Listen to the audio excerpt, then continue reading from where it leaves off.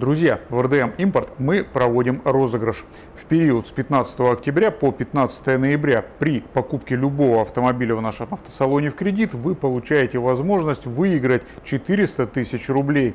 Подробнее об условиях акции смотрите по ссылке. Друзья, всем привет! С вами компания RDM Import и вы смотрите первый видео авторынок. Если вы на нас до сих пор не подписаны, рекомендуем подписаться на канале. Огромное количество интересного и полезного обо всем, что касается выбора и покупки поддержанных авто, в том числе и обзоры в различных форматах. Ну а если вас интересуют вакансии или автомобили в наличии, все это вы можете найти на нашем сайте. Ссылочки в описании и на экране.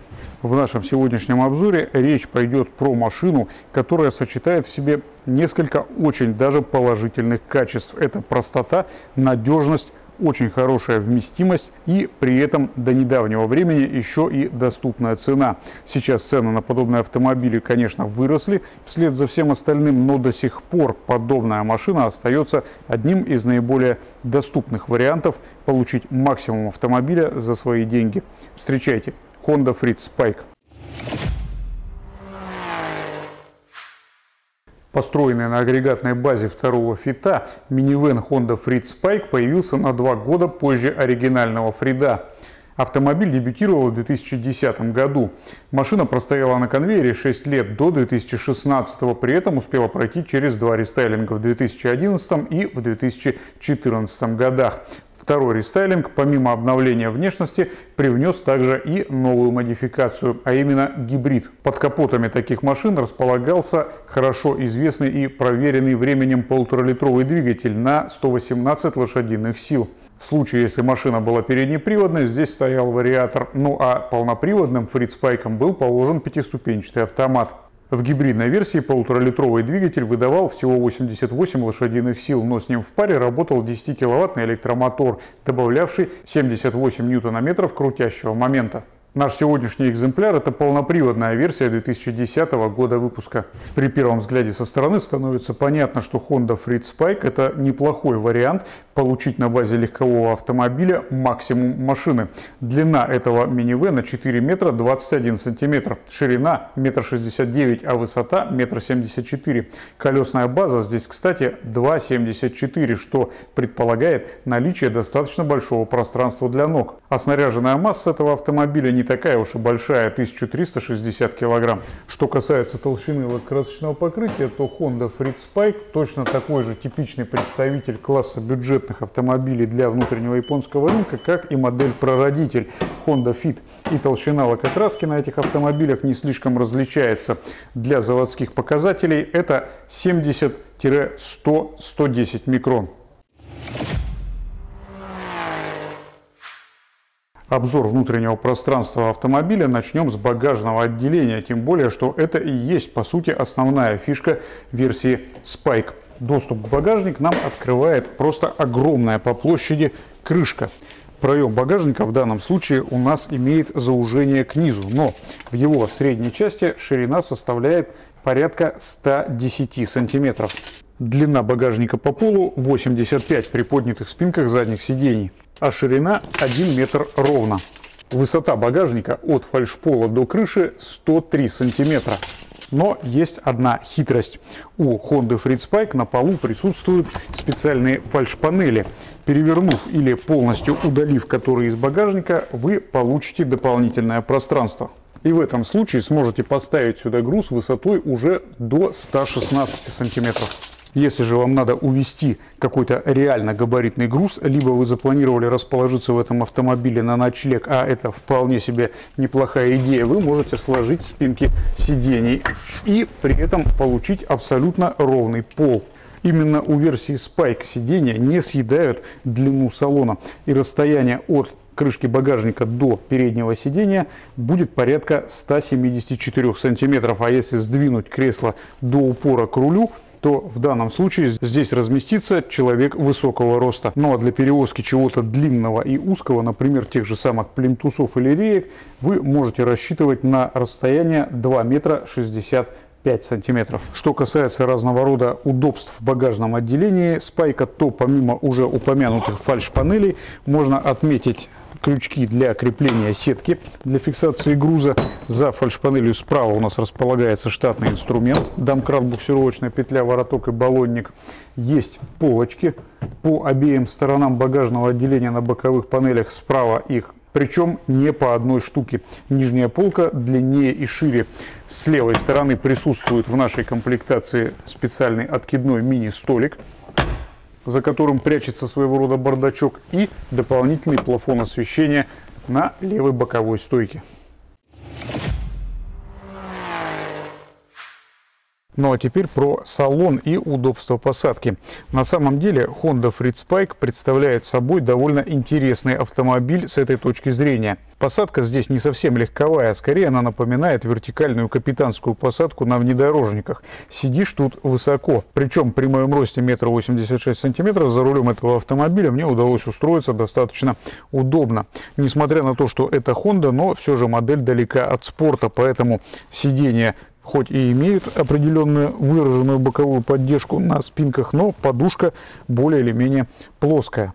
Что касается диапазона регулировок, то в данной комплектации автомобиль имеет сугубо регулировку рулевой колонки по наклону. Регулировки по вылету здесь нет, так же как нет и регулировки сидения по высоте. Запас регулировки сидения с поправкой на вертикальную посадку здесь тоже в целом можно признать достаточным. Что касается опоры для локтей, у водителя в любом случае будет откидной подлокотник слева. Передний пассажир получит опору под локоть только вместе с регулировкой руля по вылету и регулировкой сидения по высоте, то есть в более старшей комплектации. Подлокотник на дверной карте находится где он должен быть, но при этом он пластиковый и жесткий. Приборная панель у Фрида очень удобная и хорошо читаемая. Здесь крупная оцифровка и никакой путаницы. При этом при любом положении рулевого колеса приборную доску вы не перекроете. Что касается разного рода клавиш и органов управления в этом автомобиле, подрулевые переключатели находятся на своих местах, пользоваться ими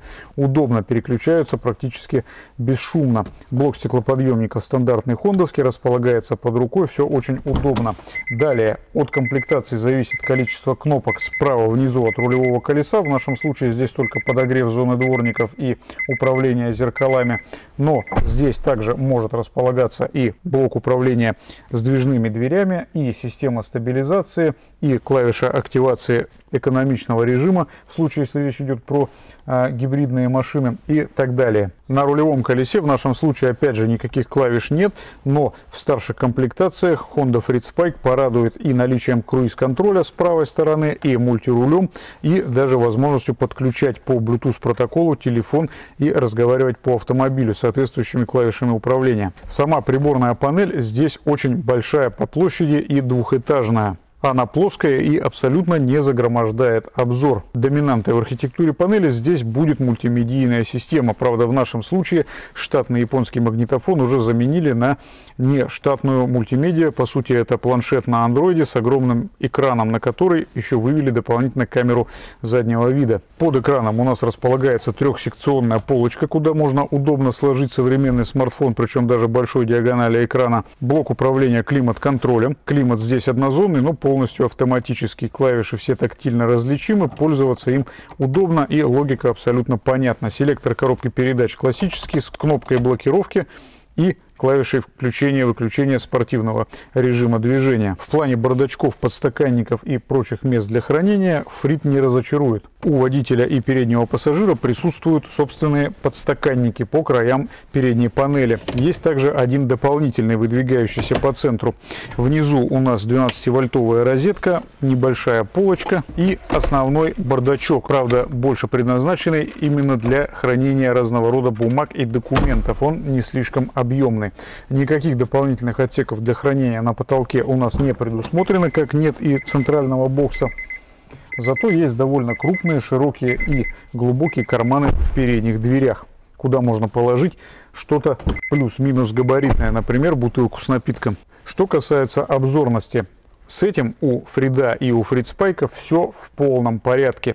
Автомобиль имеет очень низкую линию бокового остекления, низкую линию передней панели, огромную площадь лобового стекла и дополнительные форточки позволяющие не испытывать неудобств при поворотах, так как они практически полностью нивелируют слепые зоны. Боковые зеркала, конечно, могли быть и побольше, но, тем не менее, для маневрирования в городе в целом их площади достаточно. А с обзорностью назад у этих автомобилей помогает либо панорамное зеркало, расположенное в верхней части, либо по умолчанию установленная камера заднего вида.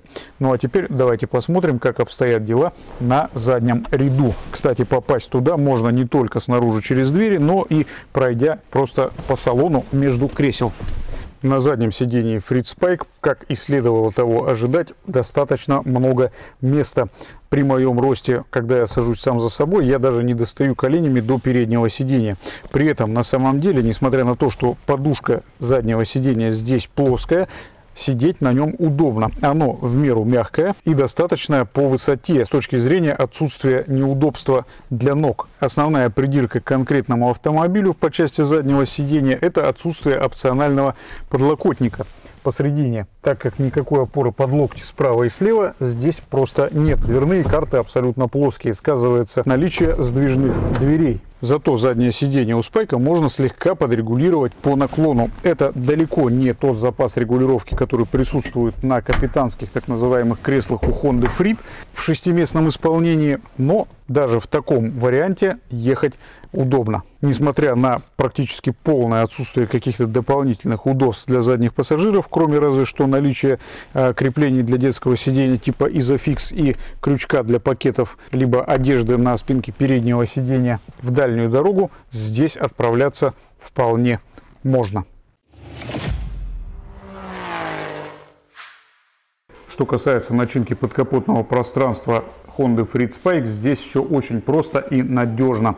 Единственный возможный силовой агрегат для полноприводных вариантов это L15A.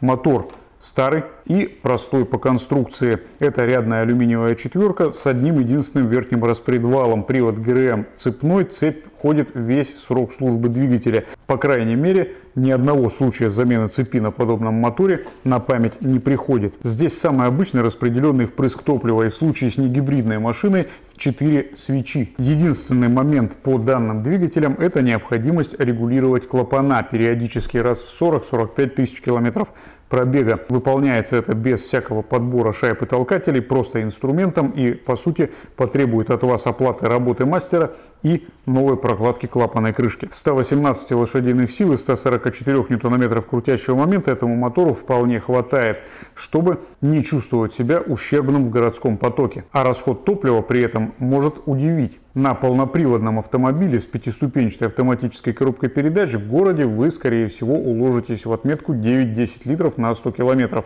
а на вариаторной машине и того меньше, где-то в среднем около 7,5-8 литров на сотню. Сам по себе этот двигатель крайне надежен, выхаживают они свыше 400-450 тысяч километров и крайне редко просятся на замену, о чем свидетельствуют и до сих пор еще низкие цены на контрактные агрегаты. Что касается коробок передач, то по сути к автоматическим пятиступенчатым КПП на этих машинах вопросов нет никаких в принципе. Меняйте масло раз в 60 тысяч километров и не убивайте коробку целенаправленно, и тогда она прослужит вам столько же, сколько двигатель. По вариаторам в период до 2011-2012 года были моменты, связанные с ненадлежащим качеством исполнения подшипников внутри узла. Проявлялось это в виде характерного гула при движении. Однако не сказать, что это слишком сказывалось на надежности данных коробок. Да и стоимость контрактного вариатора на Honda Freed или Freed Spike достаточно невысокая.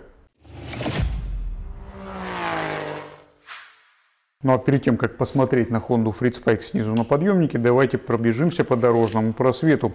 Вопрос актуальный. Каталожное значение клиренса для выдовой машины больше, чем на передке. Это 150 мм. Вооружимся рулеткой, проверим, соответствуют ли эти заявленные цифры действительности. Низшая точка автомобиля в данном случае находится под пластиковой грязезащитой под моторным отсеком. До нее от асфальта 16 см. При этом край переднего бампера располагается на высоте более 21 см, порядка 21,5, почти 22. Так что парковаться к бордюру передним ходом на этом автомобиле можно и причем достаточно свободно. Расстояние до поддомкратника за передним колесом 18 сантиметров. До задней части порога 20, а до брызговика за задним колесом 21 сантиметр. С учетом, в общем-то, коротких свесов этого автомобиля, с клиренсом и, соответственно, проходимостью, во всяком случае, в условиях города и нечищенных дворов, у полноприводного Fritz все в порядке. Что касается ходовой части, то подвеска у Honda Freed и Freed Spike несколько мягче, чем у модели прародителя Фита. Оказывается, все же более семейная направленность автомобиля. Но при этом она все равно остается по-хондовски жесткой и рулится автомобиль на самом деле неплохо. По конструктиву передняя подвеска здесь это классический Макферсон. Шаровые опоры передних нижних рычагов в данном случае выполнены запрессованными в рычаг и официально отдельно не меняются. Стабилизатор поперечной устойчивости закреплен на подрамнике и доступ к нему ограничен за счет электроусилителя, который прикрывает крепление стабилизатора с правой стороны. В плане надежности компонентов стоит сказать следующее. На практике приходилось видеть автомобили с пробегом свыше 250 тысяч километров, где стояли еще родные амортизаторы. Подвеска у Фрида и у Фридспайка очень крепкая, так что максимум, с чем приходится сталкиваться владельцам подобных автомобилей, это замена рулевых наконечников и рулевых тяг. Сама рейка, кстати, если что случилось, стоит очень даже недорого. В базе автомобиля располагается топливный бак. Его объем здесь 42 литра. Сам бак выполнен из пластика и прикрыт металлической защитой. А вот заливная горловина бака большей частью металлическая, поэтому при осмотре подобного автомобиля снизу обратите внимание на отсутствие следов коррозии на заливной горловине. Что касается задней подвески, то она будет в любом случае зависимая что на передней, что на полноприводном варианте. Задние тормоза также здесь будут только барабанные. Пружина и амортизатор стоят отдельно друг от друга. И еще одна небольшая ремарка. Запаской не комплектуется ни один из вариантов Honda Freed Spike. Место под нее в салоне просто не предусмотрено. Ремнабор находится в специальной нише под водительским сиденьем, доступ в которую осуществляется со стороны заднего ряда. Но у владельцев переднеприводных вариаторных спайков есть возможность организовать себе крепление для докатки, поскольку все пространство внизу, не занятое балкой задней подвески, под это дело доступно. У владельцев полноприводных вариантов такой привилегии уже нет, место снизу занимает редуктор, а у владельцев гибридных машин ниже сам пол за счет того, что именно там находится дополнительная батарея.